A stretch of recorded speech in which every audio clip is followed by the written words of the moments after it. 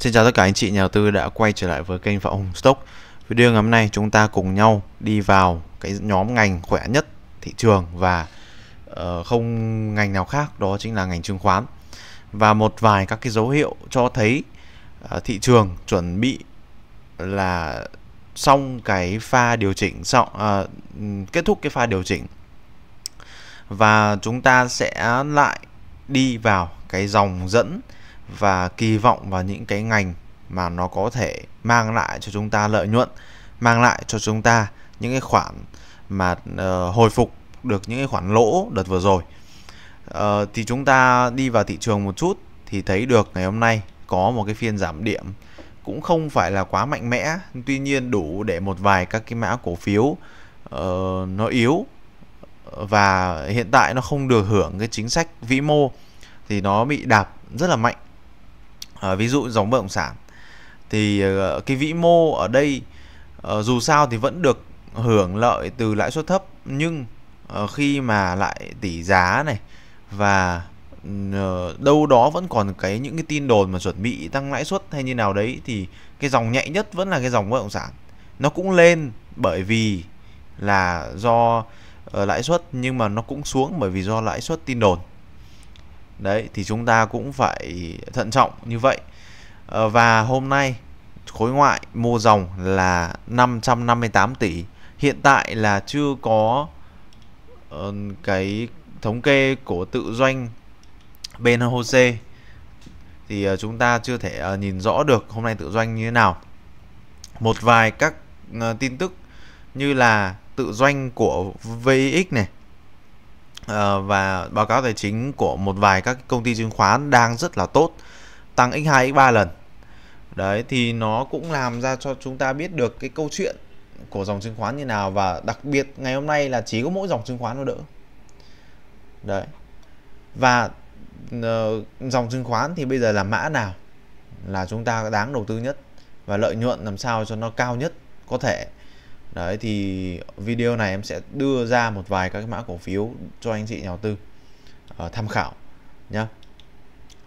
Uh, đi vào luôn uh, một chút thì chúng ta vào cái các cái mã dòng chứng khoán nhé như SI thì bây giờ nói về chứng khoán thì cứ nói về SI trước đã. Đấy còn mã nào cho lợi nhuận thì chúng ta sẽ bàn uh, tiếp. Chúng ta thấy này là 19 14 giờ nhá, 14 giờ 29 14 giờ 30 nó đang ở cái ngưỡng tầm 30.95 cho đến 30.8 và chỉ cách đó tầm bao nhiêu đây? Tầm 5 phút thôi. Là cái giá của cổ phiếu nó còn đang ở cái ngưỡng tầm 29 tức là nó thủng luôn cả cái khả hỗ trợ 30 nhưng làm sao mà hôm nay ở cổ phiếu có cái dấu hiệu kéo rất là mạnh đấy, thì không phải tự dưng mà lại được kéo đâu anh chị ạ. Không phải tự dưng. Mà bắt đầu có cái dấu hiệu của dòng tiền. Cảm thấy cái cổ phiếu này nó rẻ quá và bắt đầu giải ngân. Thì nó tạo ra một cái vùng nền và tạo ra cái đáy thứ ba. Và thường cái đáy thứ ba sẽ là cái đáy rất là chắc chắn. Nếu cổ phiếu nó sau cái đáy này nhé sau cái phiên rút chân này mà cổ phiếu nó lên hẳn luôn, thì nó sẽ lên rất là bền nhưng nó cứ nhùng nhằng ở đây vài phiên thì có khi lại chuẩn bị lại rơi tiếp. Nên anh chị nhà đầu tư cũng cần phải xem xét. Hôm nay em cũng có giải ngân uh, một chút về dòng chứng khoán thôi không có nhiều. Đó hôm nay uh, chủ yếu là ở đang ở bên phái sinh. Đấy, ở bên phái sinh thì nên là anh chị nhà đầu tư uh, hộ canh thì bây giờ thì cái uh, điểm mua thì cũng rất là khó để phải đợi thêm một vài phiên. Vì dù sao thì thị trường nó cũng đang đạp mà. Ở ngoài cái dòng chứng khoán ra bây giờ chẳng còn cái ngành nào chúng ta mua mua được. Dòng bất động sản thì đợi ờ, một vài phiên nữa, xem mà nó dừng lại ở đâu. Hôm nay có sell thì nó giảm được ok đấy 18 thì gom được. Đấy, và nó cũng hồi lên được ờ, một chút. Ờ, nhưng mà bây giờ chúng ta phải đợi là cái tin tức thị trường nó sẽ như thế nào và nó làm, nó tạo đáy ra sao nhé và anh chị thấy được là cái mẫu hình ba đáy này nó sẽ xuất, nó xuất hiện rất là nhiều lần rồi. Đấy ví dụ như đấy những cái lần mà đáy to như thế này đi một đáy này hai đáy này ba đáy này rồi bắt đầu nó phi một mạch lên anh chị ạ. Còn nếu mà tính đánh ngắn thì anh chị nhìn lại viền đi năm 2021 tháng 7 năm 2021 đây là ba đáy cái mẫu hình ba đáy kinh điển luôn. Đây là đáy một này đáy hai này và đáy thứ ba chạm chân xuống rút chân nhá cái đáy thứ ba nó luôn luôn là chạm xuống rồi rút chân lên chứ không bao giờ là làm kiểu uh, nó chạm và nếu mà chạm và đóng nến xuống dưới có khi là gãy. Nhá chạm và đóng nến xuống dưới này có khi là hôm sau là gãy luôn. Nên là tạo lập họ cần phải đóng và rút chân ngay lập tức trong cái phiên đấy. Đấy thì phiên sau bắt đầu kéo được. Nhá nên anh chị nhà đầu tư cứ yên tâm. Hôm nay là cũng ba đáy này của viên đi này. Đấy đáy một đây một phiên này rồi hai đáy này và hôm này hôm đáy thứ ba.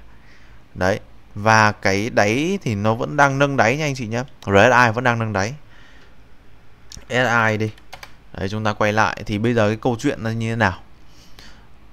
Đó thì hôm nay là ừ, khối ngoại họ mua dòng 50 tỷ SI và mua rất là nhiều các cái mã dòng chứng khoán. Uh, thời điểm hiện tại thì team em vẫn tập trung chính vào một vài các cái nhóm uh, như là dòng chứng khoán này. Đấy ở bất động sản thì có một vài mã thôi tuy nhiên là nó không nắm tỷ trọng lớn mà bây giờ 70 phần trăm. Uh, hiện tại nhé hiện tại đang cầm tiền nhưng mà sắp tới nếu mà có giải ngân thì là target chúng ta đặt ra là 70 phần trăm là chứng khoán còn lại là bất động sản là ngân hàng.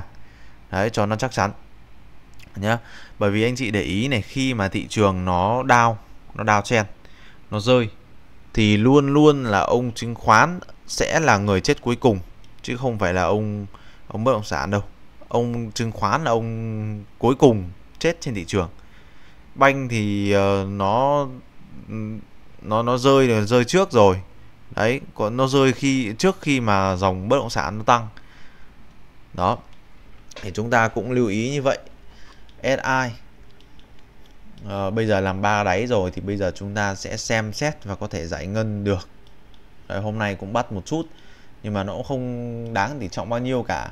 Để lấy cái vị thế nhìn cái sắc xanh nó cho nó đẹp.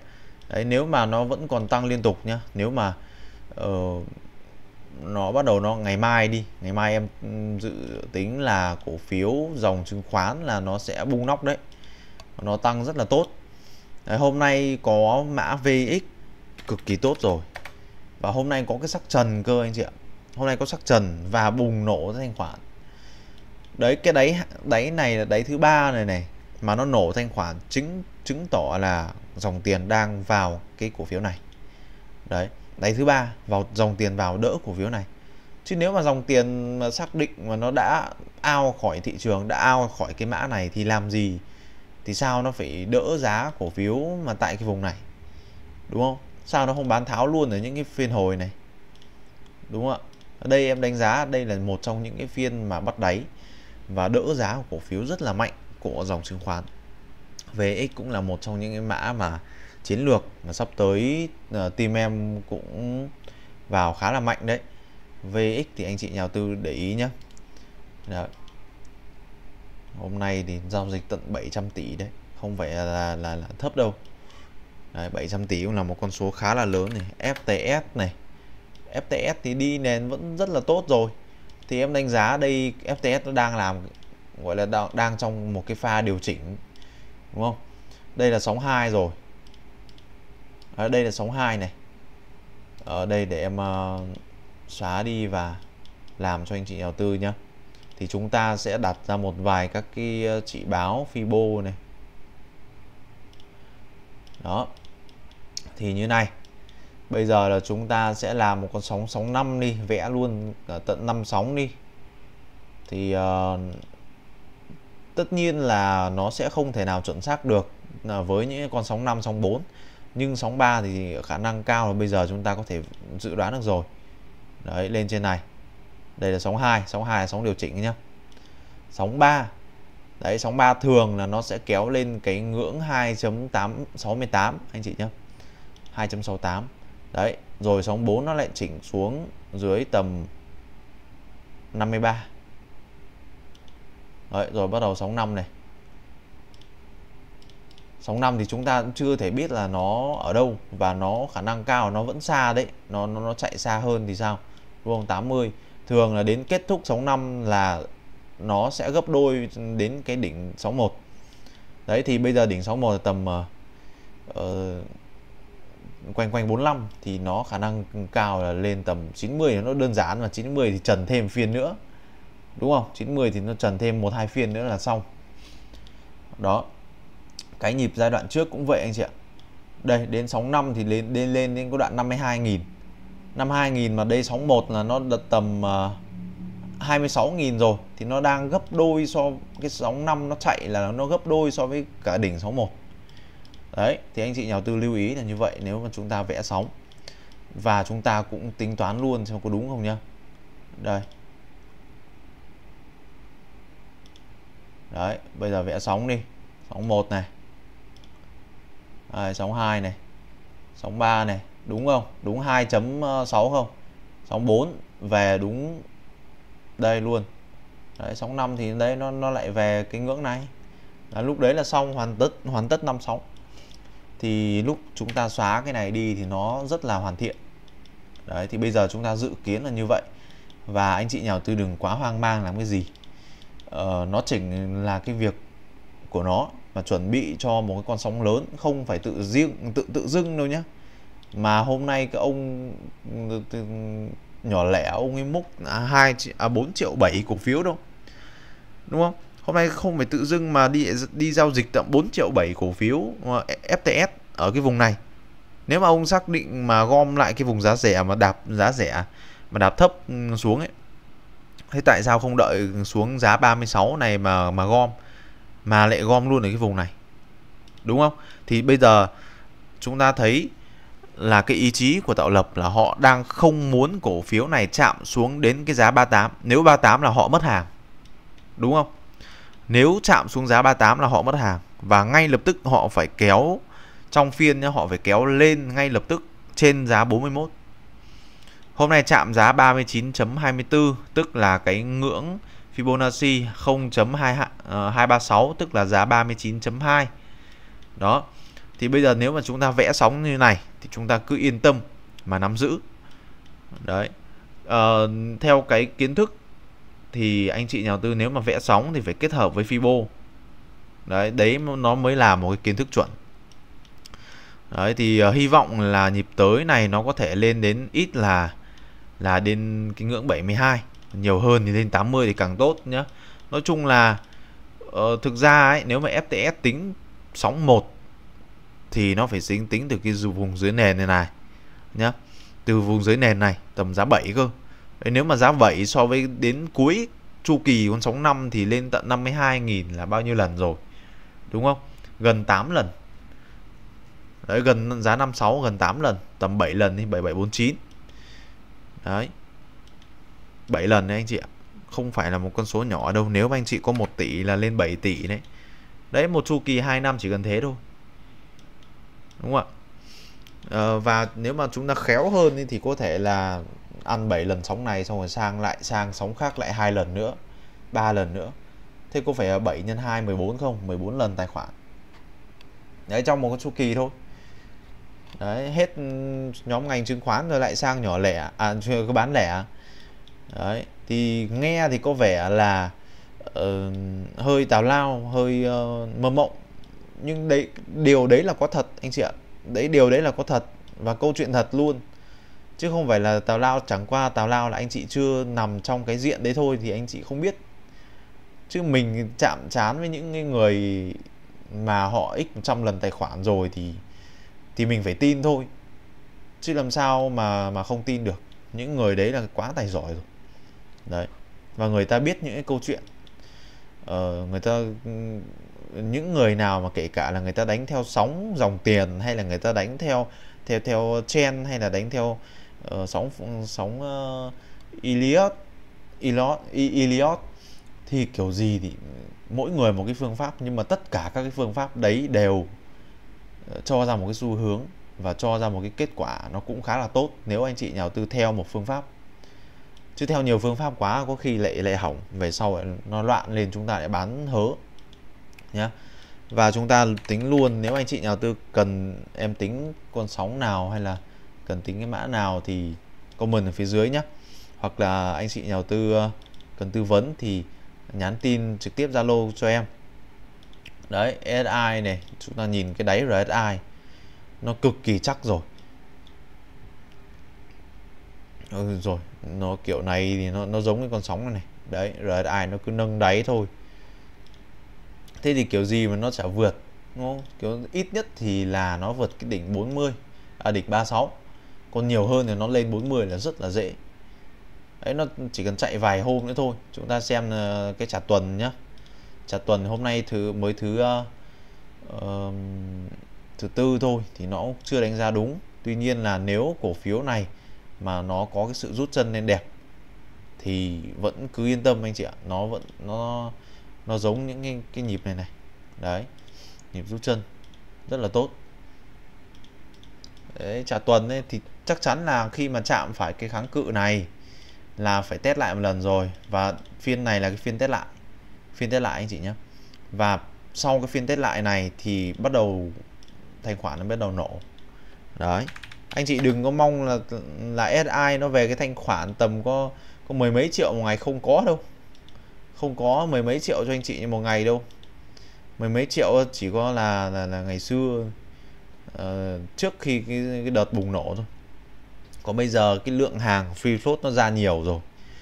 Đa phần nhà đầu tư nhỏ lẻ khi mà tham gia vào thị trường khi mà vào nhóm ngành chứng khoán họ đều biết đến SI thì không có chuyện SI nó nó để volume uh, nó nó nó nhỏ đâu kể cả là bây giờ nhiều người đu bám quá thì cổ phiếu nó chỉ tăng chậm thôi chứ nó không phải là, cổ phiếu nó không tăng anh chị ạ.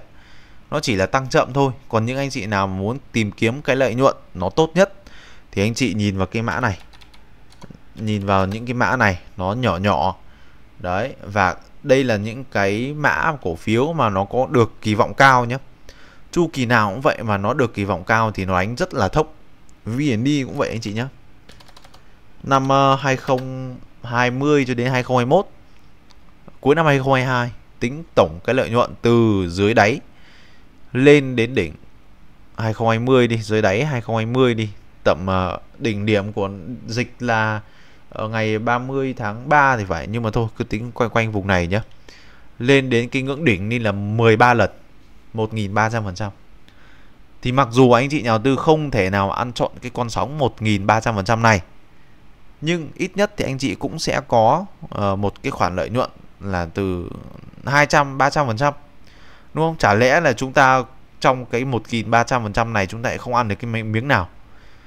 Năm 2020 2022 ờ, là mình là cá nhân em mà cũng được lần đầu tiên nhìn thấy con số 200% từ VND từ VND anh chị nhé em mua ở cái vùng này này trước khi nó chuyển sàn và đợt đợt đấy nhé đợi nó mòn mỏi luôn. Đợi nó mòn mỏi khi mà chuyển sàn xong không biết như nào nhưng mà nó về sau nó lại trần luôn, cây 10% ăn sướng lắm. Nó sang HNX xong nó kéo thì quá nột luôn anh chị ạ. Đây, mua đợt ấy mua vùng này này, sau đợt sập tháng 1 là mình cũng mất niềm tin ờ, vào thị trường nên là thôi vào mấy dòng chứng khoán. Ờ, đợt đấy vào hòa phát cơ.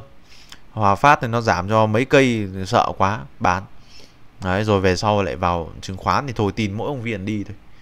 Đấy thì bây giờ là đợt đây em chỉ cần cái vùng giá này này vùng giá này là tầm 80.000 trước khi chia tách là 80.000 anh chị ạ. Còn bây giờ thì nó ba mấy nghìn thôi. Đấy. Đấy nếu anh chị một kể cả mua cái nền này thì lên cũng được 400 phần trăm.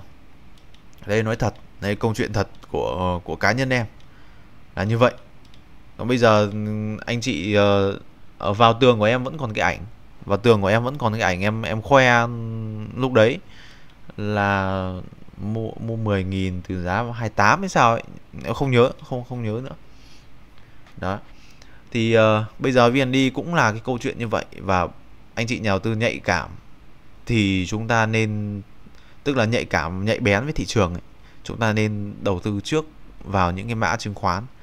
Bởi vì dòng nào thì dòng dòng phân đạm hay hóa chất gì nó có tăng thì nó cũng phải đợi thị trường. Mà thị trường ở đây là do ông chứng khoán ông làm tạo lập. Nói thẳng như thế cho nhanh. Chứng khoán nó là tạo lập của thị trường chứ không phải ai khác. Nên chứng khoán luôn luôn là người chết sau cùng. Đấy mà trừ khi là nó phân phối xong thì nó mới nó mới chạy được. Đấy thế cho nhanh. Còn bây giờ thì sau một cái lượng hàng uh, sau một vài các cái năm họ nó tăng vốn nhiều ấy. Thì uh, bây giờ cái lượng hàng trôi nổi uh, nó lớn thì cần hấp thụ thêm thời gian nữa. Thì khả năng cao lên tầm 26 rồi nó lại hấp thụ làm những cây nến nó to như thế này.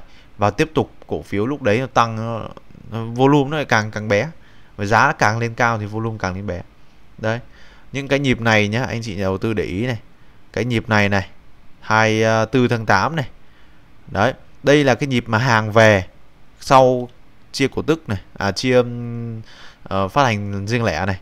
Đây ba cái cây nến to tướng này anh chị nhìn tưởng là phân phối. Phân phối gì mấy cây này đang làm nền đúng không? Mà đây là ờ, đây thực ra nó là những cái cây mà hấp thụ lại cái lượng hàng. Đấy hấp thụ đủ rồi nó bắt bắt đầu nó chạy thôi.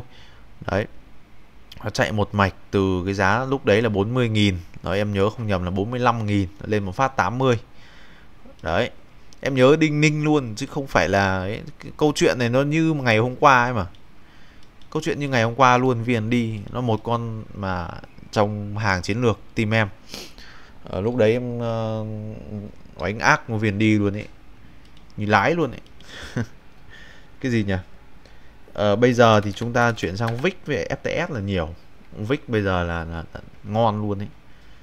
Anh chị nhà đầu tư mới uh, uh, đây có cái uh, tin tức này tự doanh của Vic lãi gần 200 tỷ. Chắc chắn là ông ấy bán Novaland ấy. ông phải là người bán Novaland thì, thì, thì ông ấy mới có cái lợi nhuận như vậy. Đúng không? Mà bán là bán phiên nào? Bán là những phiên này này. 21 22 này. Anh chị ạ. Bán những phiên này thì nó mới làm ra cái tâm lý và nó đạp cái thị trường xuống. Dù sao ấy khi mà tạo lập họ đạp thì những cái tin tức nó sẽ đi kèm luôn nhá. Nó sẽ đi kèm luôn với cái tin tức để thực hiện hóa uh, cái cái việc bán và cái volume to đấy. Chứ mấy ông tự doanh này mua bán đâu cần phải xin phép ai đâu anh chị làm sao biết được đúng không? À, bây giờ nếu mà chúng ta nhìn biểu đồ đường thì thì cổ phiếu đang hai đáy cực kỳ đẹp rồi một đáy hai đáy này. Đấy mà nếu mà chúng ta thấy được là đáy là đáy ngang nhé đang đi ngang thôi. Mà bắt đầu thấy dấu hiệu RSI nó nó tăng lên rồi. Đấy, cái này nó đang đi ngang thôi này. Đấy chỉ đang đi ngang thôi. Đó thì chúng ta phải nhận biết được cái tình thế của của thị trường. Đó bây giờ đây là một cái ngưỡng kháng cự này. Kháng cự cũ. Thì nó về đúng cái vùng này nó ờ, nó nó, nó được hỗ trợ luôn. Thì đây nếu mà chúng ta đặt cái biểu đồ như này thì nhìn rất là rõ nhìn rất là rõ điểm kháng cự. Đấy nhìn phát biết luôn đấy mà. SI sao? SI nó đang nằm nửa trên rồi pha pha nằm nửa trên rồi. Đó đang nằm pha nửa trên của thị trường rồi. Không sao cả đang tăng uptrend rồi. Vui là nó đang còn uptrend ấy. Chứ không thì, thì, thì hơi khó. Thị trường mà dòng chứng khoán mà mà đạp cái là hơi khó luôn ấy. Thì anh chị nhà đầu tư có thể tham gia được nhá? FTS này BSI sao? Ủa BSI nhìn đẹp luôn đấy chứ. Hôm nay chỉ giảm nhẹ thôi. Nói chung giảm nhẹ là được rồi. Không có sắc sàn này nhưng mà cuối phiên thì kéo một mạch lên. Đấy, ác luôn ác chiến luôn ngày hôm nay. BSI nó nằm nửa trên rồi anh chị ạ. Nên là chúng ta đừng quá lo lắng. Nó nằm nó nằm cửa trên rồi. Cứ thế mà chạy thôi nhá. Nó đang nằm cửa trên rồi. Đó cửa trên nó, nó hỗ trợ mạnh là nó ở cái vùng tầm 27 này đấy 27 này là nó về bao nhiêu lần đấy? Một lần, hai lần, ui rồi rất nhiều lần. Mà mãi nó không tăng được, mà một khi nó tăng nhá, nó chỉ cần về đến cái vùng tầm 26 27 thôi là lực tiền lại vào đỡ mạnh. Cái kháng cự cũ thì nó chính là cái hỗ trợ mới mà. Đấy. Thực ra em đang muốn chuyển sang chúng ta nhìn toàn diện hơn thì chúng ta phải nhìn cái biểu đồ này, đường cơ sở. Đấy. Nhìn toàn diện hơn và chúng ta nhìn nó đánh giá chính xác về những cái điểm cuối phiên. Chứ nhiều khi mà chúng ta nhìn nến thì nó, nó bị ảnh hưởng bởi ATO vì vì dù sao thì ATO nó là tạo lập họ làm tâm lý. Nó không chính xác. Cuối phiên mới là chuẩn. Đó. À, còn mã cổ phiếu nào nữa? VCI thì sao anh chị? Đợt này như nào? VCI à, ờ, VCI thì em đánh giá là hơi yếu so với ngành một chút thôi. Đấy nhưng mà anh chị mà đã nắm thì uh, nó cũng dù sao nó nằm trong cái nhóm ngành chứng khoán thì kiểu gì nó cũng sẽ tăng. Ông này là ông cũng ờ, mạnh hơn một chút uh, uh, là nó có cái đội uh, nghiên cứu có đội nghiên cứu ok. Đấy, ra báo cáo các thứ. Đội nghiên cứu của SI là đỉnh nhất thị trường rồi ông như là tạo lập rồi. Trụ xong rồi nói thật là như vậy. Còn gì nữa? VCI HCM HCM thì đợt này em thấy hơi yếu. Đấy hơi yếu một chút hôm qua lại cũng bị giảm sàn. Như SI giảm sàn đâu? SI không có giảm sàn. Thì nó vẫn mạnh. Nhưng dù sao thì cứ nhìn cái thằng đầu ngành này là chúng ta biết được xu hướng của các cái mã ờ, nhỏ nhỏ. Đấy. Đây MB uh, à, HSHS này anh chị mà hôm nay được bắt được cái đáy này thì lên cuối phiên ăn chọn 7% luôn. Đúng không? Ăn chọn 7% mà bây giờ nhé volume này anh chị thấy được là cổ phiếu nó bắt đầu có volume có tiền vào rồi. Đấy có tiền vào tiền vào. Thì chắc chắn là cũng tiền vào cái nhịp này nó không có chuyện mà nó không có chuyện mà nó lên trên này nó bán đâu anh chị ạ. Không có chuyện lên 17 nó bán đâu 17 18 nó bán đâu. Không bao giờ. Đấy ít nhất thì là nó, nó phải x2 cái con số này lên. Là bao nhiêu? 18 nhân 236 36 nghìn nó mới bán được mà volume lúc đấy, giá 36 nhá, volume khả năng cao là nó phải gấp đôi cái cây volume bùng nổ này, hoặc ít nhất là phải tầm 80 triệu cổ phiếu. Thì mới là phân phối, nhá. Nên chúng ta đừng quá bi quan, không có vấn đề đâu. Bây giờ cũng chỉ là một cái pha một trong những cái pha gom hàng. Dù sao ấy, em em chỉ cho anh chị đầu tư biết tại sao mà nó phải gom hàng lớn như thế này. Anh chị thấy chu kỳ trước không? Nó tung ra rất là nhiều các cái game như là tăng vốn này, chia cổ tức bằng cổ phiếu này, chia cổ tức bằng tiền. Thì cái chia cổ tức bằng cổ phiếu và phần tăng vốn giá 10.000 nó làm đẩy cái thanh khoản của cổ phiếu lên. Thì nhịp trước anh chị ờ, phải để ý là cổ phiếu nó không có không có thanh khoản như bây giờ là 38 triệu cổ phiếu một ngày đâu. Nó chỉ quanh quanh tầm 10 triệu cổ phiếu một ngày nó là nó hơi cao rồi đấy. Đấy 18 triệu cổ phiếu là cao nhất rồi là là phân phối rồi. Đấy. Nên là anh chị nhà đầu tư cũng thận trọng. À và, và cũng để ý như vậy mà không không phải là tự dưng mà cái volume bây giờ nó đạt lên một cái ngưỡng tầm cao mới đâu. Là do năm ngoái họ tăng vốn nhiều. Nên free float bây giờ nó nhiều thì cái thanh khoản nó tăng thôi không có vấn đề gì cả. Đó còn uh, mã cổ phiếu nào nữa? MBS thì đợt này em thấy là gần như là khá là mạnh đấy. Hôm nay mà ông nào bắt đáy thì xem nào được bao tiền? 8% ngon hơn. Ngon hơn nhiều. Đấy MBS chuẩn bị có game rồi nên là uh, đánh rất ác. Đấy chạm vào cái hỗ trợ này. Anh chị nhà đầu tư để ý thì cái hỗ trợ tầm 18 này cho đến 19 này nó rất là mạnh của MBS nên là cổ phiếu này khả năng cao là chuẩn bị uh, break đấy. Break nhịp này là là, là tiền vào cực kỳ nhiều luôn đấy. Đó thì anh chị nhà đầu tư để ý mã này cũng được nhá. Ờ, hai cái mã ừ, sàn ừ, HNX, SHS, MBS đang nằm trong HNX 30 nên là yên tâm không có vấn đề cả. À, rồi thì quay quân đi quay đi quẩn lại dòng chứng khoán thì có mỗi mã này. VIX này, SHS, MBS này, SI, Viền đi là tham gia được. Nó còn khỏe và nó còn có cái kỳ vọng chúng ta nó chúng ta có cái kỳ vọng x2 x3 lần. Chứ những cái mã lẻ tẻ như mấy cái nhóm ngành khác điện như pau cái thứ thì, bao giờ anh chị mới kỳ vọng được x2 đúng không? Vào những cái mã mà tăng không thấy nó tăng nữa là ví dụ như pau đi. Rất rất hiếm khi nhé rất hiếm khi thấy pau nó tăng x2 đấy nên là anh chị nhà đầu tư để ý đấy dù sao thì em cũng liệt kê cho anh chị một vài các cái mã như VIX này VND, SHS, SI, MBS nhá. Thì uh, chúng ta à, có FTS nữa. FTS đợt này là chuẩn bị có game mới đấy nên là yên tâm nhá. Rồi anh chị nhà đầu tư uh, có cái câu hỏi gì thì cứ comment ở phía dưới em sẵn sẵn sàng mà giải đáp hết. Uh, cảm ơn anh chị đã đón xem. Nên là ở cái video này thì cũng thông báo luôn là cho thị trường xu hướng thị trường sắp tới cũng sẽ rất là ổn không có vấn đề gì cả. Đó uh, thì hẹn những anh chị nhà đầu tư ở những cái video lần tới nhé